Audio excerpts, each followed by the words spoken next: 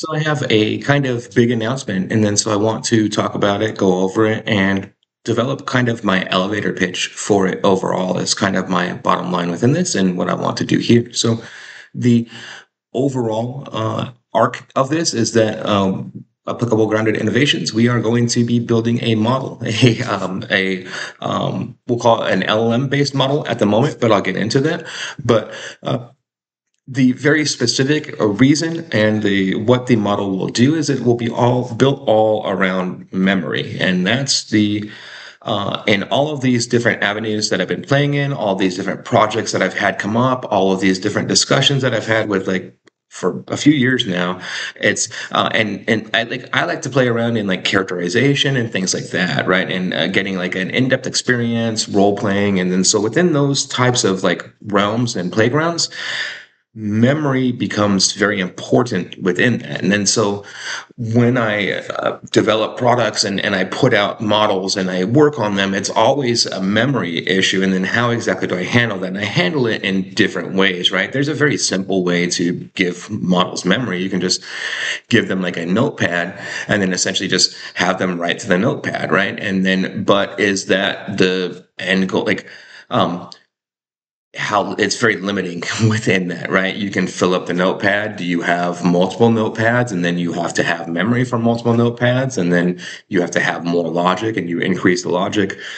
Each incremental step of that, right? So then it becomes no longer just an easy task. And then you have to make all of that work together. And then is that like there's different, like several different frameworks and approaches for memory overall. I've talked about memory on this channel a lot before too, right? In terms of uh, like getting in, if it were going towards like an actual mimicking of human memory, I think it's very important to put in a probabilistic blend in the memory uh, in there somewhere overall. And but so that's and some people might disagree, and some people might not want to go towards uh, AGI type of architecture overall, which is what this model is uh, not built to do. Right? It's built more for those tasks exactly that I, I laid out, like characterization, um, and then around that, and then so at the moment, every single model that exists via like API for characterization, they all have the same problem, which is the the context window, right? And then so it's amazing as long as you're within the context window of that uh, model.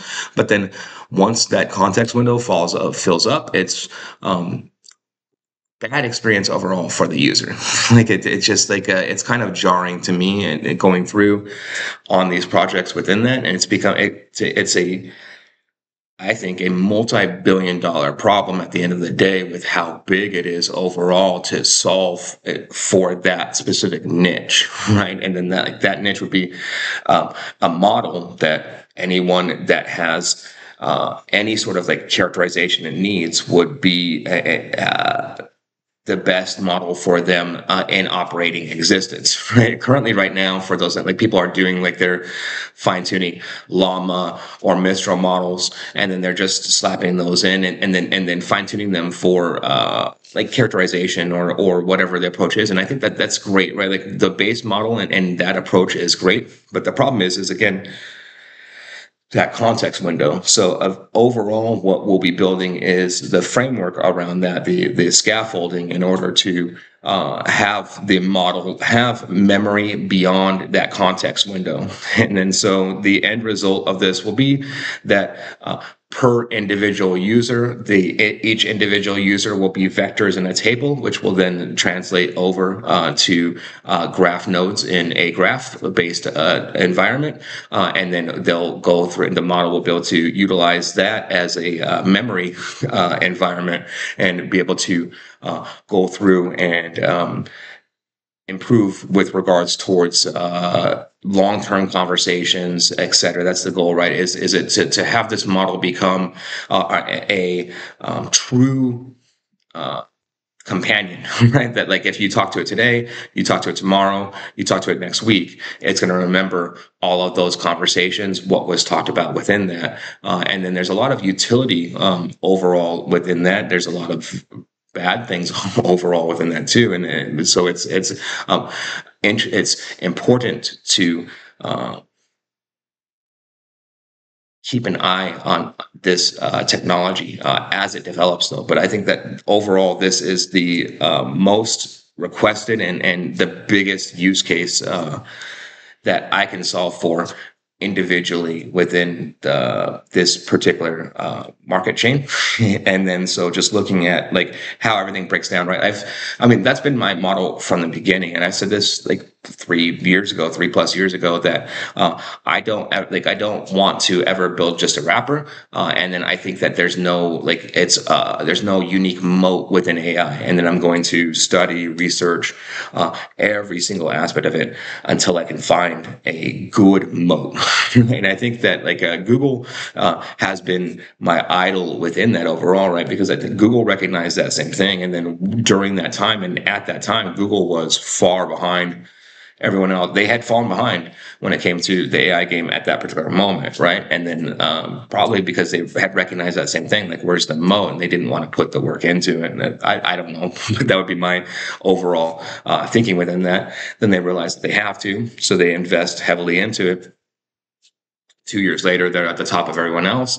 And now three years later they're starting to develop like those moats. Like you can actually see it right? Like Veo 3 for example is a good moat for them overall at the moment. And you can see that they're trying to uh, hold that that that moat line there as long as they can right? Because uh, to me the next evolution of these models overall like i don't think we're going to be like by the end of 2025 100% i think it will be the case that like uh, we'll no longer be talking about just llms as the primary uh, models and then it will be like uh, mllms like multimodal models and then also and that includes vision audio speech and text and all in one model right? And then that's uh, the new LLM basically, uh, and then like those, so that will be your your base model, and then what I'm supplying on top of that is uh, that base model that would have all those capabilities plus having a memory system uh, within it, right? And then just kind of going through like what I've sketched out so far as to the memory system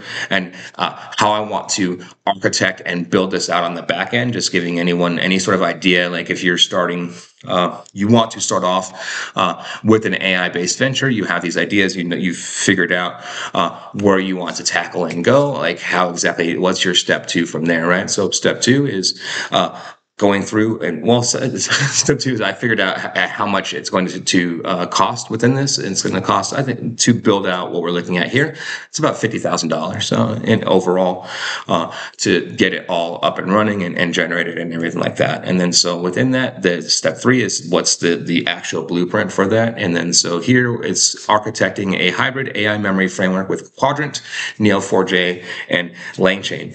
And then so these are the three um, backend systems that I decided to go with for this memory system. And I'm particularly interested if anyone wants to criticize like the LangChain specifically, like or have a recommendation uh, on the LangChain side for like the the wrapper. I'd be open to that. My uh, kind of uh, logic and my reasoning within that for, for LangChain is very specifically because it plays nicely with Qdrant and Neo4j, which are what I want to use for the embedding layer and then for the graph layer. Um, and then so within the architecture overall, uh, essentially we are building a so retrieval like uh, RAG has become a standard technique for enhancing LLMs with external knowledge, thereby improving factual accuracy and reducing hallucinations. However, traditional RAG systems often treat all information as homogeneous collection of unstructured text chunks, indexed and retrieved based on semantic similarity alone. This approach, while effective for certain tasks, fails to capture the rich, explicit relationships and structured facts that underpin the complex domains. A hybrid memory framework overcomes this limitation by modeling different types of knowledge in specialized, purpose-built data stores. This architecture creates a more sophisticated cognitive model that separates fast, associative recall from deep, structured reasoning, enabling the system to handle a much broader and more complex range of queries. On the Qdrant side as far as the semantic and episodic memory. In this framework, Qdrant serves as the semantic and episodic memory layer. It is optimized for storing and searching high dimensional vectors, making it the ideal repository for unstructured or semi-structured data that can be represented by embeddings. And then this includes like raw text documents, conversation histories, user observations, etc. Right? Like anything that's that's uh, raw, and then that's um, in my instance, it's like a lot of text conversations, etc. Right? And so I would want to to feed those in uh, and via the Qdrant system. So Qdrant's primary strength lies in its ability to perform highly efficient vector similarity searches. It answers questions based on semantic meaning, such as what have we discussed? That's similar to corporate restructuring or find me documents related to renewable energy policy. Uh, this represents the system's experiential memory, a repository of what it has seen, read, and heard, accessible through associative recall. Qdrant supports dense, sparse, and hybrid retrieval method modes, allowing for a combination of semantic and keyword-based search for enhanced precision.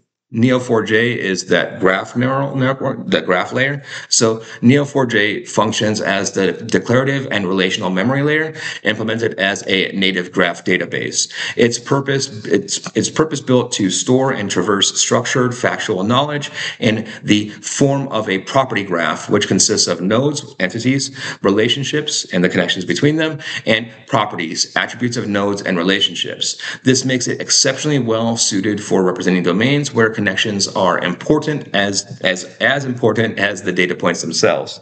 And then so Neo4j excels at answering those questions, right? When you need to actually like, query, so who's the CEO of company X that acquired competitor X? What's the shortest path between researcher A and technology B in the collaboration network? List all employees who work in the same department as Jane Doe and have collaborated on a project with someone from the legal team. Like uh, recall information about the last Dungeons and Dragons game, like and, and um, or like the about this warrior system or or like whatever it is overall, right? The the uh, when getting into the fantasy realm there, and then so. The last component is just uh, LangChain and LangGraph as the cognitive orchestrator uh, orchestration system, just to, to piece all of that together uh, for reasoning, planning, routing, synthesizing, and iterating.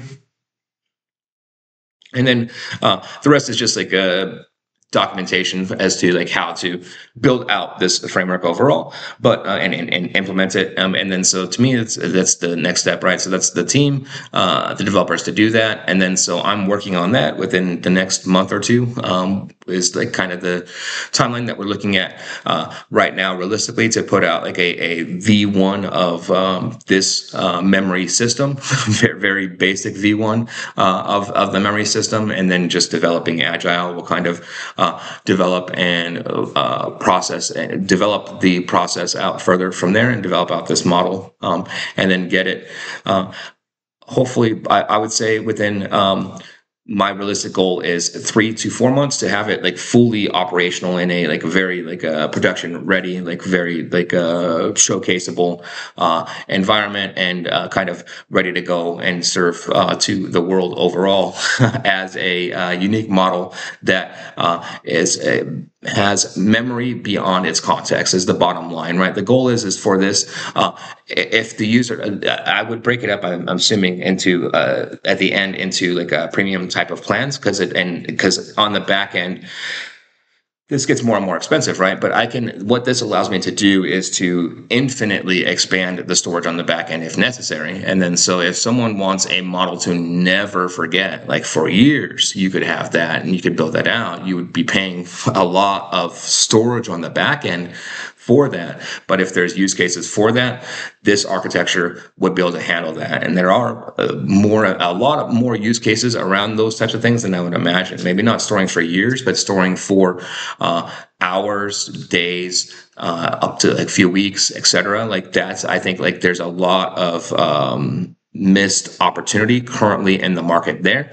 And then so that's our niche. That's our moat. That's where we're focusing in and honing in. And uh, so I'll see you uh, on the other side. If you like this type of content, please like and subscribe. Thank you very much.